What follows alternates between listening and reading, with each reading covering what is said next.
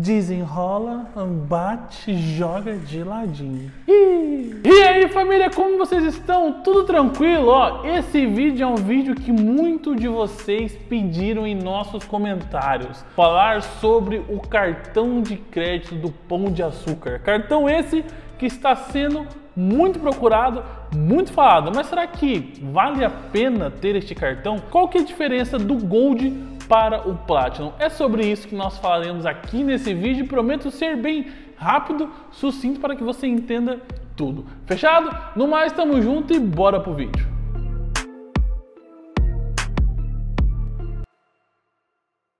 Antes de mais nada, por favor, já vai deixando aquele seu maravilhoso like.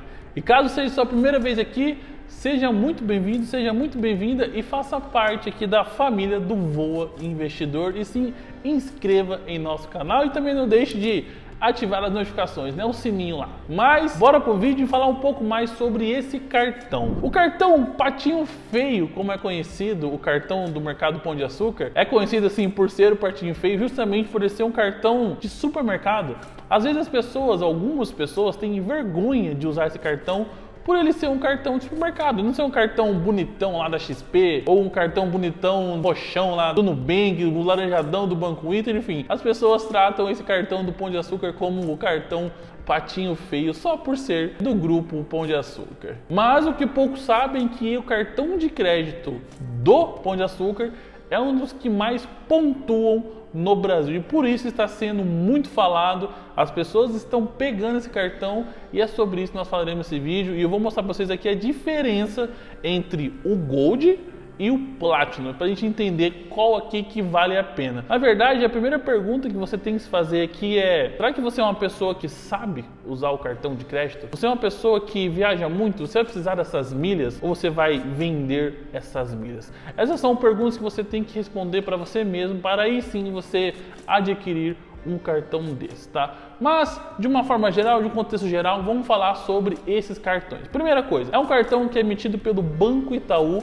nas bandeiras Mastercard e Visa, sendo que ultimamente só a Visa está no mercado. Mastercard, por enquanto, não estão mais fazendo a bandeira Mastercard, é apenas a Visa. Lembrando que os pontos acumulados vão para o GPA+, aplicativo esse que foi feito junto do Itaú com a galera do grupo Pão de Açúcar, sendo que cada um real gasto neste cartão você acumula um ponto dentro do aplicativo GPA+, ou seja, é uma proporção de um para um dentro do GPA+.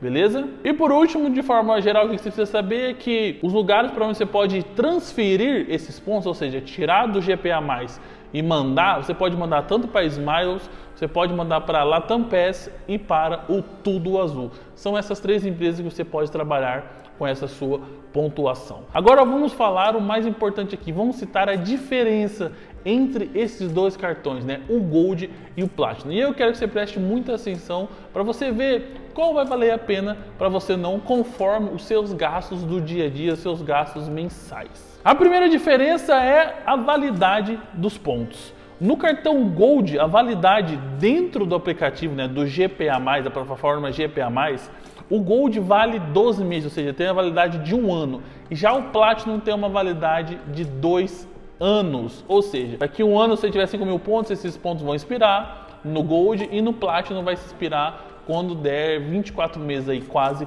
dois anos. Lembrando que a partir do momento que você tira essa pontuação do GPA+, e manda, sei lá, para Tudo Azul, para Latam ou para Smiles, você vai ter uma nova validade, mas essa validade não é a mesma do GPA+. Essa validade é da empresa lá, né? É da Tudo Azul, é da Latam, é da Smiles. Então você tem que ficar atento a isso, beleza? A segunda diferença é os benefícios de cada cartão. Na ambos aqui nós vamos falar de, do Anvisa, tá? Da bandeira Anvisa. O Gold tem uma garantia estendida, tem proteção de preço e tem proteção de compras. Já o Platinum tem tudo isso que o Gold tem, ok? E acrescenta aqui o seguro de viagem internacional para você fazer aquela viagemzinha para fora do país, Tem também um app da, da Visa Airport, que é você fazer compras aí dentro do aeroporto e ter descontos em restaurantes, em qualquer coisa que você for comprar aí dentro do aeroporto, né? Você tem que ver no aplicativo ali o que está vinculado a esse aplicativo ou não, né? Quais são as lojas vinculadas a esse aplicativo. E por último, tem o concierge digital que é basicamente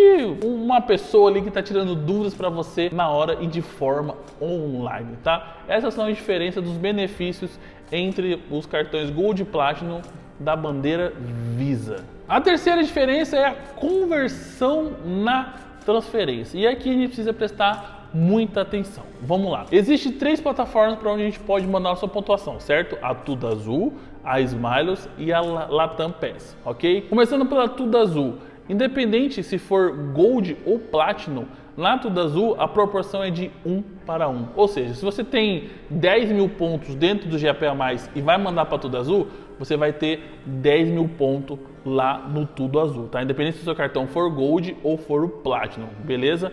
Já falando da Smiles e da Latam, a conta é um pouco diferente, beleza? Se você tem um cartão Gold, a proporção vai ser de um ponto, ou seja, um ponto dentro do GAPA+, vai virar 0,7 dentro da Smiles ou da Latam. Isso para o cartão para o cartão Gold, ok? Ou seja, você tem 10 mil pontos dentro do GPA e vai transferir para Smiles ou para a Latam através do seu cartão Gold você vai ter 7 mil pontos, ou seja, seus 10 mil pontos vão virar 7 mil pontos, beleza? Mas se você tiver o cartão Platinum e for fazer essa transferência, a proporção vai ser de 1 para 0,88, independente se for Smiles ou Latam. Ou seja, se você tiver 10 mil pontos no GPA+, e for mandar para Smiles ou para Latam, isso vai virar 8.800 pontos, caso esses pontos venham de um cartão Platinum. Beleza? Entendido? A quarta diferença aqui é o limite de transferência anual, que traz um pouco, uma certa polêmica. Aqui são coisas que as pessoas não concordam, pessoas que usam muito cartão de crédito. Vamos lá.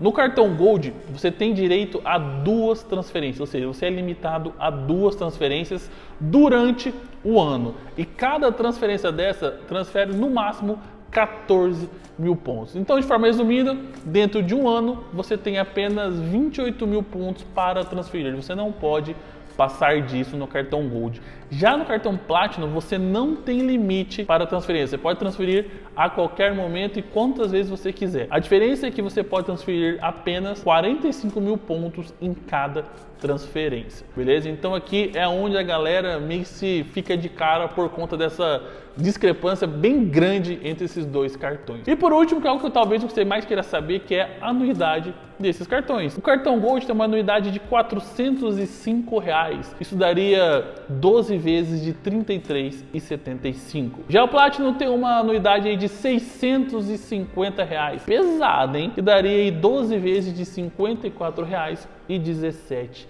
centavos. E aí eu já deixei uma pergunta para você. Recentemente, o Itaú falou que não ia renegociar mais essa anuidade com os clientes como estava fazendo antes. Aí eu te pergunto, você tem esse cartão, caso você tenha adquirido esse cartão, você já usa o cartão há muito tempo, quanto que você está pagando aí de anuidade? Você conseguiu algum desconto nessa anuidade? Porque eu ouvi falar de pessoas que conseguiram 10%, 30% e até 50% de desconto, pelo menos no primeiro ano. E o Itaú diz que não fará mais essa renegociação por conta dos vários benefícios que ambos os cartões já dão para os clientes. E aí, fala comigo aqui, você tem esse cartão, você pretende ter esse cartão, você é uma pessoa que acumula pontos e usa o cartão de crédito? No mais, tamo junto, um beijo, um abraço e até a próxima. Tchau!